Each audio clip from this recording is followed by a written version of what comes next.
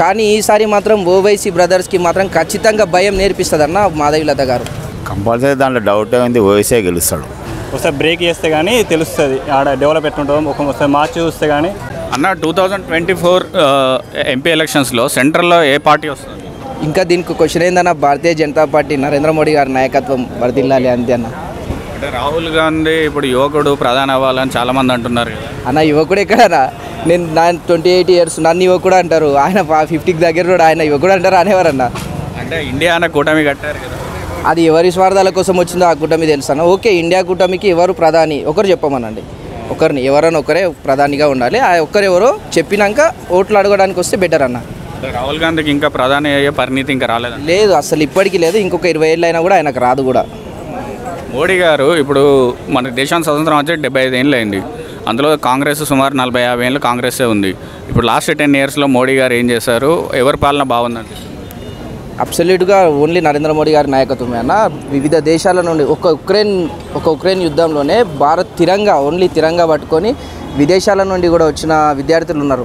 దానికి మించిన గౌరవం ఈ భారతదేశానికి ఏది అవసరం లేదన్న కళ్ళు మూసుకొని నరేంద్ర మోడీ గారికే ఓటేస్తుంటాం. అంతే ఇక దానికి మించిన సవాలే లేదు. గవర్నమెంట్లో చేసిన మంచి పనులు మీకు ఏం నచ్చినాయన్న ఏది నచ్చలేదన్నా చంద్రయాన్ చంద్రయాన్ తీసుకుంటే ఒకప్పుడు మనని చిన్న చూపిన చూసిన దేశాలన్నీ అతి తక్కువ ఖర్చుతో నాలుగు వందల కోట్లతో చంద్రయాన్ చూసినాం. దానికి మించిన నేను దా దాన్నే ప్రౌడ్గా ఫీల్ అవుతాయి ఒక భారతీయుడికి ఇంతకన్నా మించిన ఇదేం లేదు. దాంతోపాటు అనేక విషయాలు ఉన్నాయి. ఒకటి చెప్పుకుంటూ పోతే ఒకటి ఒకటి చాలా ఉంటాయి అన్న. భారతదేశం రానున్న రోజుల్లో మూడో అగ్ర అగ్రగా దేశంగా మారబోతుంది. దానికన్నా పెద్ద ఏదంటారు? ఒక మంచి ఆర్థిక వ్యవస్థగా నిలు నిలుస్తుంది. దానికన్నా గొప్ప అనుభూతి ఏమి ఉండదు అన్న భార- భారతీయునికి. కొంత మరి మోడీ పైన బీజేపీ అంటేనే ఒక ఒక్క మతానికి చెందిన పార్టీ అని అనే వాళ్ళకి ఏం చెప్తారన్న? అన్న రేపు యూపీ ఎలక్షన్స్ ఉన్నాయన్న. డెబ్ అక్కడ అత్యధికంగా భారతదేశంలో ఉన్న ఎంపీ స్థానాలు యూపీ నుండే ఉన్నాయి. లాస్ట్ టైం డెబ్బై మూడు గెలిచినాం. ఈసారి డెబ్బై మొన్న యోగి ఆదిత్యనాథ్ గారు అన్నారు. ఎనభై ఎనభైకి ఇస్తామని. మరి అక్కడ మాత్రం యూ ముస్లింల పాపులేషన్ ఎక్కువ ఉంది కదన్న. అది తెలుస్తుంది ఎవరు ఎవరి పక్షాన ఉన్నది లేదనేది. ఇప్పుడు కోవిడ్ టైంలో చూసారు కదా మీరు మోడీ పాలన. ఇప్పుడు దేశ ప్రజల్ని ఎలా కాపాడుకున్నాడు మోడీ? మూడు నూట ముప్పై కోట్ల మంది జనాభా కదా. నూట ముప్పై కోట్ల జనాభా కదా. కోవిడ్ టైం కోవిడ్ అనే సంక్షోభాన్ని ఎలా హ్యాండిల్ చేశాడు మోడీ? మీ దృష్టి. అన్న ఒకవేళ ఇదే పరిస్థితిలో వేరే ఏ ప్రభుత్వాలు ఉన్నా కూడా అసలు చిన్న ఒక మీరు అన్నట్టు వేరే వాళ్ళు అన్నట్టు గుట్టలు పుట్టలుగా శవాలు ఉండేది. కానీ మోడీ గారు ఆ- సమయానికి పాలన ఉన్నందుకు ఇంట్లో కూర్చున్న వ్యక్తికి ఇంటి దగ్గరికి వచ్చి వ్యాక్సిన్ ఇవ్వడం వల్ల ఎంతమంది ప్రాణాలు సేవ్ అయినాయి? అసలు ఆ టైంలో ఒక్కరిని కూడా బయటికి రానియకుండా ఇంటి దగ్గరికి వ్యాక్సిన్ ఇవ్వడం అనేది అసలు ఎవరు చేసే పని? విదేశాలు కూడా వాళ్ళ పనులు చేయలేకపోయినాయి కదన్నా? హైదరాబాద్లో ఇప్పుడు ఎంపీ ఎలక్షన్ ఈసారి కొంచెం టగ్ ఆఫ్ వార్ ఉన్నట్టు అనిపిస్తుంది. ప్రచారం కూడా హోరావర్ చేస్తున్నారు మాధవలతను ఓవైసీ గారు. ఎవరు గెలుస్తారని అనుకుంటున్నారు మన హైదరాబాద్లో? ఈసారి మాత్రం హైదరాబాద్ కాన్స్టిట్యున్సీ భారతదేశానికి ఒక దిశానిర్దేశం సూచిస్తుందన్న. ఎందుకంటే అక్కడ ఐదు లక్షల ఇల్లీగల్గా ఉన్న ఓటర్ ఓటింగ్ ఓటర్లని తీసేసిండ్రు. అందుకోసమే ఆయన భారతదేశాన్ని ఇంతకుముందు అదే ఓవైసీ గారు అనేవాళ్ళు భారతదేశం మొత్తం బీహార్లో పోటీ చేస్తా మహారాష్ట్రలో పోటీ చేస్తా యూపీలో పోటీ చేస్తా అని. ఈరోజు తన సొంత సీటు మాత్రమే అక్కడ మాత్రమే ఉండి ప్రచారం చేసుకోగలుగుతున్నాడు. అంటే ఆయనకు భయం అనేది స్టార్ట్ అయింది. మాధవిలత గారు తన ఇంపాక్ట్ చూపిస్తున్నారన్న అక్కడ. మాధవలత గారు ఫస్ట్ టైం కంటెస్టెంట్ చేస్తున్నారు కదా తన స్పీచ్ కానీ తన బిహేవియర్ కానీ ఎలా అనిపిస్తుంది మీకు? అన్న మన ధర్మాన్ని ఆమె ఏ ధర్మాన్ని కించపరచలేదన్న నా ధర్మాన్ని ఆమె ప్రొజెక్ట్ చేస్తుంది. అందులో తప్పేముందన్న అక్కడ ఎవరికి షేమ్ ఫీల్గా ఫీల్ కావాల్సిన అవసరమే లేదు కదన్న. ఈ ముప్పై నలభై ఏళ్ళు ఎంఐఎం పార్టీ ఉంది కదా అక్కడ అధికారంలో. డెవలప్మెంట్ ఏ మేరకు జరిగింది ఓల్డ్ సిటీలో ఇప్పుడు మాధవిలో వస్తే ఏమవుతుంది అని అనుకుంటున్నారు? అన్న డెవలప్మెంట్ అంటే కనీసం ఈ రోడ్లో ఇంత విశాలంగా ఉన్నాయి. ఆ ఓల్డ్ సిటీలోకి పోతే అసలు మీరు చూస్తే నడవడానికి కూడా ప్లేస్ ఉండదు అన్న సాయంత్రం టైం ఇక అక్కడ ఏమి డెవలప్మెంట్ జరిగిందో అనేది వాళ్ళే చెప్తే బాగుంటుంది అన్న ఒక్కడ జరిగిన డెవలప్మెంట్ ఓన్లీ ఏడు మంది ఎమ్మెల్యేలకు అక్బరుద్దీన్ ఫ్యామిలీకి మాత్రమే డెవలప్మెంట్ జరిగింది. ఇంకెవ్వరికి జరగలేదన్న. మాధవలత గారు ఒక ఇంపాక్ట్ చూపిస్తారు అంటారా? లేదా గెలుస్తారంటారా ఖచ్చితంగా ఆమె గెలుపుకు దగ్గర దగ్గర వచ్చేది ఉంటుందన్న. కానీ ఈసారి మాత్రం ఓవైసీ బ్రదర్స్కి మాత్రం ఖచ్చితంగా భయం నేర్పిస్తుందన్న మాధవిలత గారు. అన్న ఈసారి ఎంపీ జనరల్ ఎలక్షన్స్లో హైదరాబాద్లో ఓల్డ్ సిటీలో ఎవరు గెలుస్తారు అనుకుంటున్నారు మాధవలతన ఓవైసీ? కంపల్సరీ దాంట్లో డౌట్ ఉంది ఓవైసీ గెలుస్తాడు. ఓవైసీ. మాధవలత గెలుస్తాడంటే అదే రాజాసింగ్ ఇస్తుంటే రాజాసింగ్ గెలుస్తుండే. ఎందుకంటే రాజాసింగ్ ఇస్తే కాంగ్రెస్ బీజేపీ ఇస్తే హిందూ అన్నతోడు రాజాసింగ్కి ఓటేస్తుండే. మా- ఆల్రెడీ ఎమ్మెల్యే ఉన్నాడు కదా మళ్ళీ ఎంపీ గెలిచే సత్తా ఉన్న వాళ్ళకి ఇవ్వాలి. ఏదో డమ్మి క్యాండిడేట్ని పెట్టి ఈ బీజేపీ వాళ్ళు ఏం చేస్తారు ఆ బీజేపీ వాళ్ళు ఎంఐఎం గెలవాలని ఒక డమ్మి క్యాండిడేట్ని పెట్టారు బీజేపీ వాళ్ళు. అదే ఒక సత్తా ఉన్న క్యాండిడేట్ అదే బీజేపీలో ఒక సత్తా ఉన్న క్యాండిడేట్ ఉన్నాడుగా రాజాసింగ్.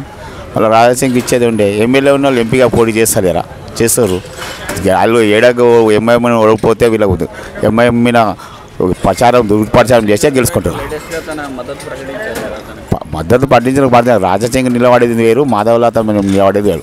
ఫస్ట్ ఆఫ్ ఆల్ ఇప్పుడు ఇంకోటి ఏంటంటే కాంగ్రెస్కి బెనిఫిట్ అవుతుంది వీళ్ళు బీజేపీ వాళ్ళు రిజర్వేషన్ ముస్లిం రిజర్వేషన్ తీసేస్తామని చెప్పారు. వాళ్ళు కాంగ్రెస్కి వేస్తారు. హిందువుల ఓట్లు మూడు సగలో చీలిపోతాయి. అప్పుడు బీజేపీ ఎట్లా గెలుస్తుందండి? ఆడ సెక్యులర్ పార్టీ ఉన్న వాళ్ళకు అలాగే వేరే పార్టీలో ఉన్న వాళ్ళు హిందువులు లేరా? రాముడు వాళ్ళ ఒక్క సొంత దేవుడా? బీజేపీ వాళ్ళకు? అందుకోసం రిజర్వేషన్లు కాదు ఫస్ట్ క్యాస్ట్ తీసేయమని మోడీని. క్యాస్ట్ తీసేయాలి కులగర్జన తీసేయాలి చదువుకున్న వాళ్ళకి జాబులు ఇవ్వాలి ఎంతోమంది నిరుద్యోగులు రోడ్ల మీద పడుతున్నారు చదివి మా పిల్లలే చదువుకున్నాం ఎంబీఏ తెలంగాణ టేస్ట్ ఫస్ట్ నా బిడ్డ.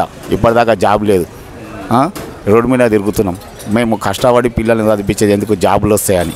వాళ్ళు ఏం చేస్తారు మా పిల్లలకి జాబులు లేకుండా తిరుగుతారు మేము ఇంకా ఓటేయాలంటే ఏం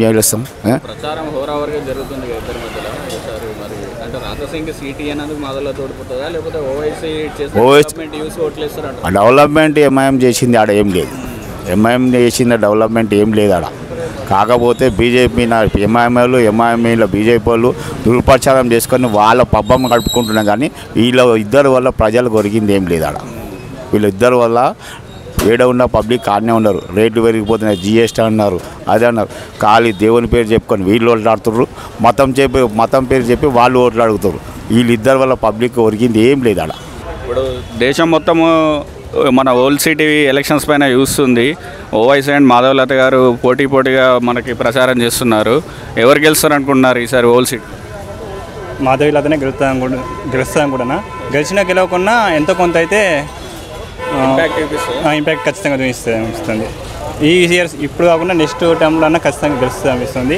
ఇప్పుడు ఫార్టీ ఇయర్స్ వరకు ఎంఐఎంఏ అక్కడ డీల్ అక్కడ వస్తు కంచుకోటగా వస్తుంది.